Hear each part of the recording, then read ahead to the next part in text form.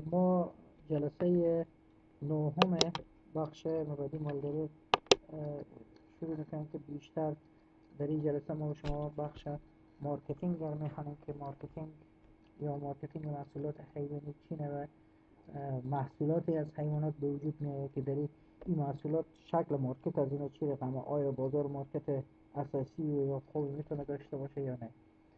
خود marketing حیوانات و محصولات از می‌تونه شامل خود بگیم marketing حیوانات عبارت از یک پروسه اقتصادی که بین تولید کنندگان حیوانات و محصول آنها مصرف کنندگان رابطه را برقرار می‌کنند.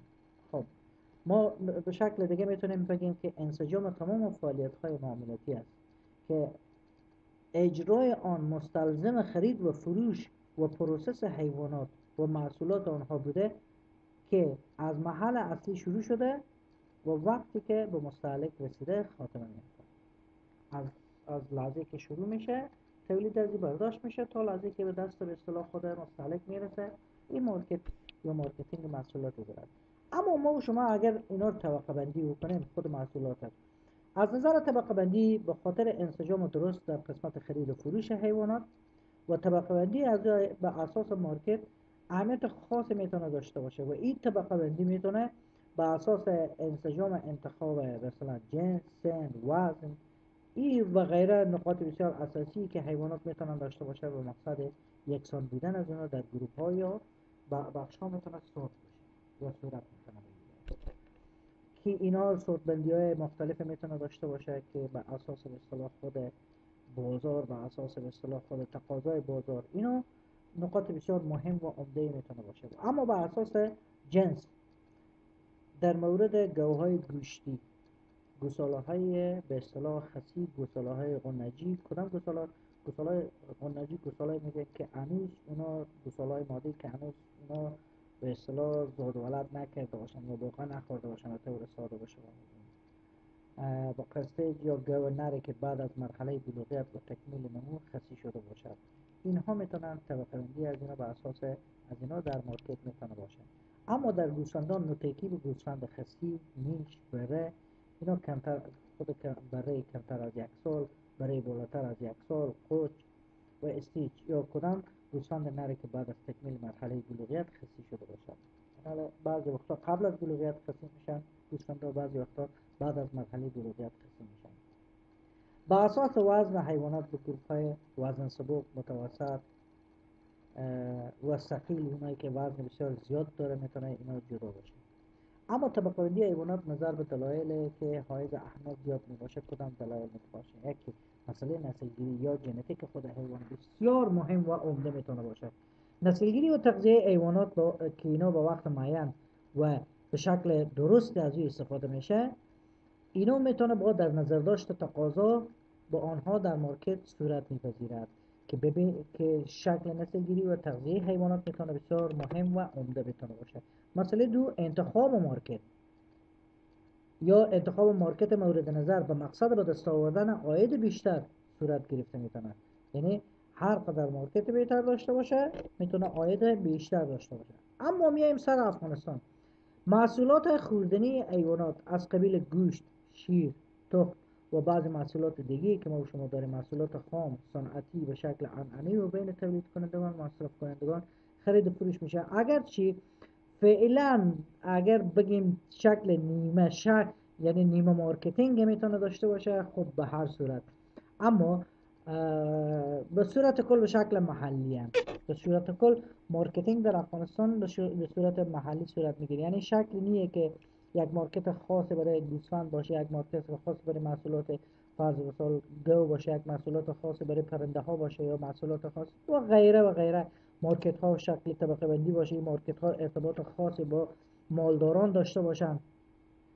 و اینا ما به اصطلاح تمام تولیدات از اینا مستقیما از از از از به اصطلاح خود مرکز خود به اصطلاح خود دامداری مستقیما اینا ذبح بشن و اینا بیاین مستقیم یا شیر و گوشت و پشم و غیره و غیره چیزا از اینا مستقیما بیای یعنی دست سوم نباشه مستقیم به مارکت بیای این بسیار بسیار مهم و عمده می‌تونه باشه و از نظر اقتصادی برای مستهلکین کسایی که خرید و فروش هم می‌کنن برای از اینا خرید به اصطلاح خود مواد لازمه که از مارکت می‌خرن برای از اینا خوبه. در حالی که ما شما در در افغانستان به خصوص در ایران با شما می‌بینید که تا مستعلق به گوشت گوسفند می‌رسه سه چهار دست از از از مالدار گرفته تا به چوبدار بعد از از چوبدار میایه بالاخره به دست قصاب و از قصاب می‌رسه به دست ما. سه چهار دست میگرده و بالاخره اینیه که مستعلق رزی نیه. و اگر شکل marketing می بود که مستقیما market با مالدار طرف می بود و همین گوشت مستقیم میورد داخل market خیلی از این ارزانتر ما شما می‌تونستیم از داخل market تهیه کنیم. اما در بعضی ممالک دیگر اکثریت تولید کنندگان محصولات حیوانیشان را از طریق کوپراتیف ها مستقیما برای process یا مستقیما برای مصرف کنندگان به فروش میرسانند که اینجا ما شما قبلا داشتیم نام کوپراتیو و نام کوپراتیو دهقانان. متاسفانه این کوپراتیو فعلا وجود نداره. تاسیس کوپراتیو می‌تونه یک یک یک یک یک ستون اصلی برای وضع به اقتصادی کنونی مالدار می‌تونه بسیار ارزش خاصی داشته باشه و تشکیل کوپراتیف ها می‌تونه های کوچکی برای مالدارا بده و مالدارا امروز بتونه از نقاط بسیار های بسیار خطرناکی که اینا به وجود میارن اونا نجات بده. خب. نقطه دیگه ما اینجا خشکی زیر پای حیوانات در قسمت خود فارمداری ما یک نقطه یک عنوان ما داریم که این بسیار مهم و عمده که ما شما نقاط مثل شروع می‌کنه که اینها می‌تونه چطور در داخل یک farm خیلی معذرت که از marketing بیرون شده. و بعدا پس دوباره سر marketing نقاط بسیار مهم و عمده که ما شما برای به اصطلاح ظرافت خود market می‌تونه بسیار رول اساسی داشته باشه که اگر به اصطلاح همی خشکی زیر پای حیوانات مد نظر گرفته نشه و حیوانات کثیف بشه اینا خود شما می‌فهمید که اینا یک market بسیار خوبی ندارن مقصد استعمال خشکی در زیر پای حیوانات یا روی فرش طویله پاک نگه داشتن و مستریح بودن خود حیوانات می‌تونه باشه. که اگر هم پاک باشه و هم حیوان مستریح باشه می‌تونیم پس یک market بسیار خوبی داشته باشیم. حیوان مریض نمیشه. حیوان مثلا وزن خوب می‌گیره استراحت کامل می‌کنه تولید بسیار خوبی می‌تونه داشته باشه. اما استعمال خشکی از نظر کود حیوانی دارای ارزش زیاد می‌باشه که امروز در خشکی زیر پای حیوان بیشتر از کودای خود حیوانات و کار مخلوط می‌کنن استفاده می‌کنن و از نظر کود حیوانی دارای کدام ارزش می‌تونه که خشکی زیر پای ادرار را جذب می‌کنه. یکی از نقاط بسیار مهم مونده که خود کود حیوانی که اگر زیر پای حیوانات خشک خشک بشه و پس انداخته شه ادرار را می‌تونه جذب بکنه. سهولت در ذخیره کود حیوانی به بار می‌تونه بیاره که کود حیوانی به بسیار سادگی ما شما از زیر پای حیوانات می‌تونیم جمع بکنیم. از انواع و اقسام به خاطر که کود حیوانی می‌تونه ارزش بسیار خوبی برای فرم های زراعتی داشته باشه برای نباتات می‌تونه داشته باشه. از انواع و اقسام مختلف به اصطلاح خشکی در فرم های حیوانی استفاده صورت می‌گیرد. انتخاب نوع خشکی مربوط به کدام عوامل می‌تونه باشه؟ یکی عوامل می‌تونه باشه معایر شدن آنها به یک قیمت مناسب. اونمو به اصطلاح شیر می‌تونه به به قیمت مناسب بتونه بفروشه و بازار خوبی می‌تونه داشته باشه. ظرفیت جذب ادرار می‌تونه داشته باشه. خشکی زیر پا در فرم پاک بودن آری از کسافات یا گرد و خاک و غبار و غیره که اینا می‌تونه از امراض جلوگیری بکنه. سهولت در نگهداری می‌تونه باشه که نگهداری حیوانات سهولت بسیار زیاد می‌تونه داشته باشه که از امراض می‌تونه جلوگیری کنه. سهولت در پاک نمودن طویله می‌تونه زیاد باشه که اگر خشکی زیر پا باشه به سادگی طویله چی میشه؟ پاک میشه. و اگر خشکی زیر پا از نباشه مستقیما روی سمت برزه این به سختی پاک می‌تونه باشه. و اگر یک مواد خشکی مثل حالا بیشتر براده عرر مندازن در اکثریت فرما دیدم. براده عرر مندازن و یک قسمت کو مندازن و مدفوع ایوانات هم که خشک باشه روی از این مندازن که کلا سه طبقه میشه می‌تونه بسیار خوب باشه. دیگه عموما همونطور که گفتم از بوری اره براده چوب پوست درختان انواع مختلف کاها اینها گندم کاه به صلاح خود چی جو و تنتاهای جوری و نموچی های جوری به حیث خشکی زیر پای حیوانات می‌تونه استفاده بشه.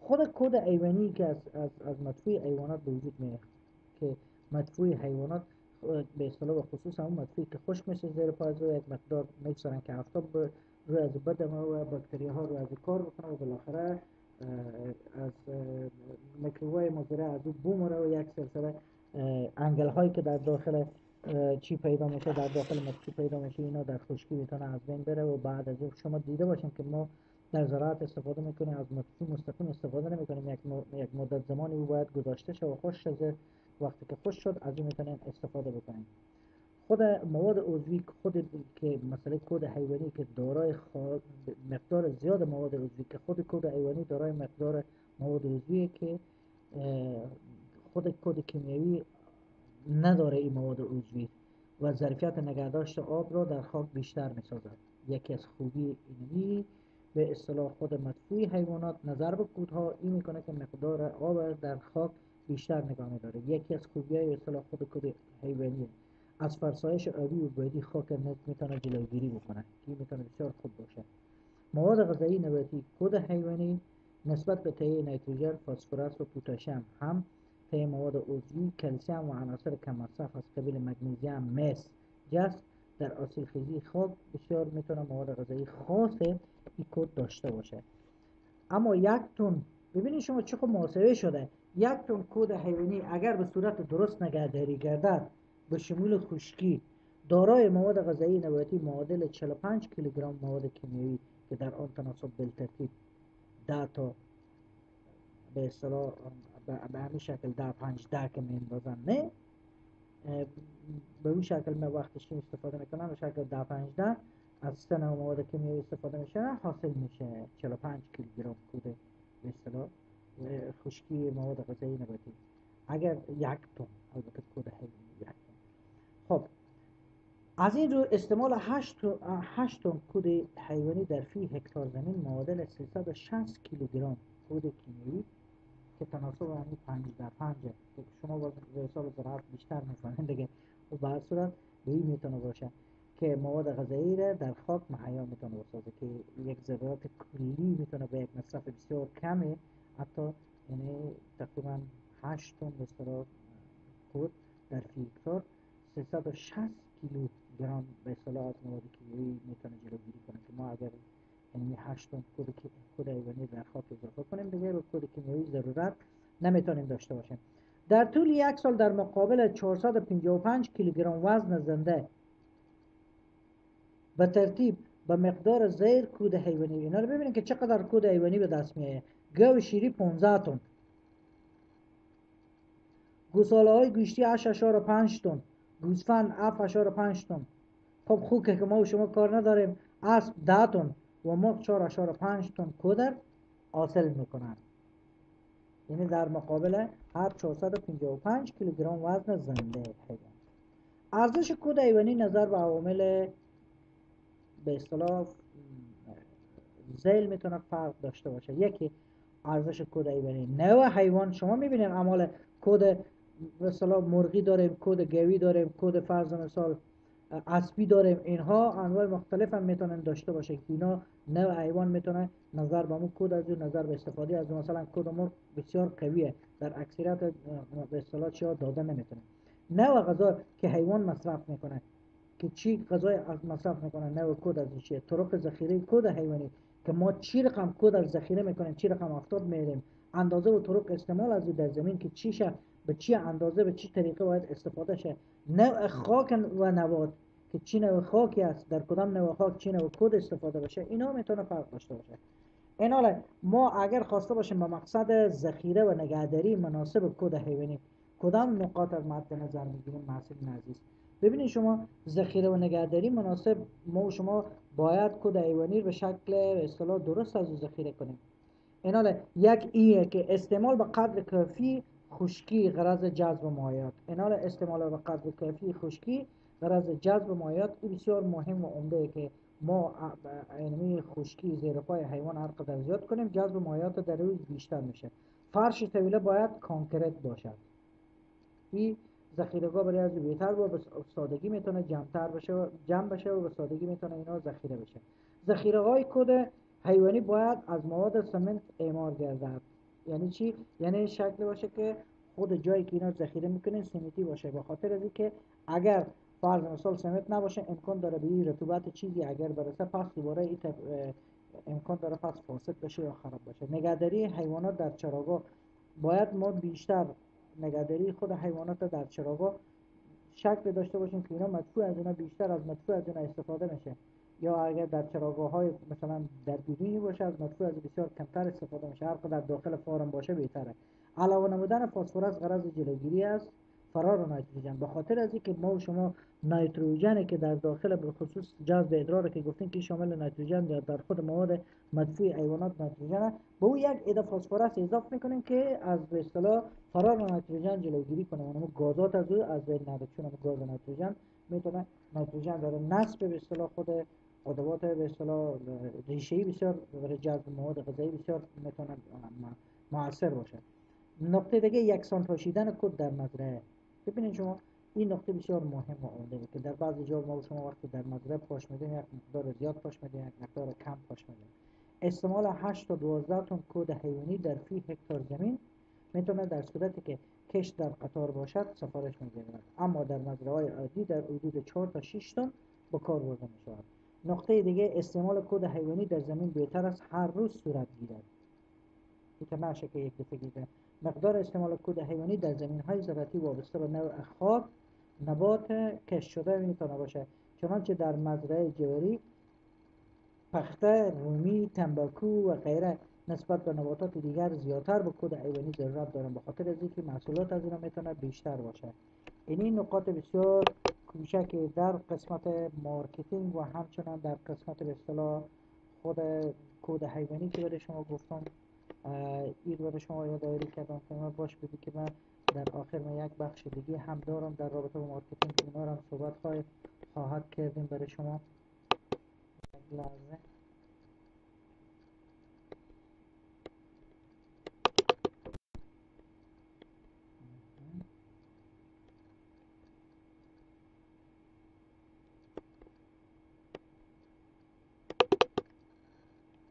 ببینیم در اینجا هم می‌تونیم ما شما در رابطه با مارکتینگ بعضی حرفایی داریم که همون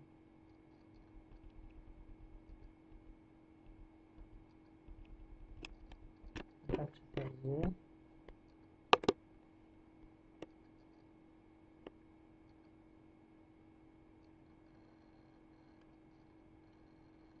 خب باز برای جلسات بعدی انشالله برای شما آماده خواهد کردیم که ببینیم marketing دیگه در قسمت marketing محصولات حیوانی باز هفته بعدی با شما در رابطه با management farm ها صحبت خواهد کردیم.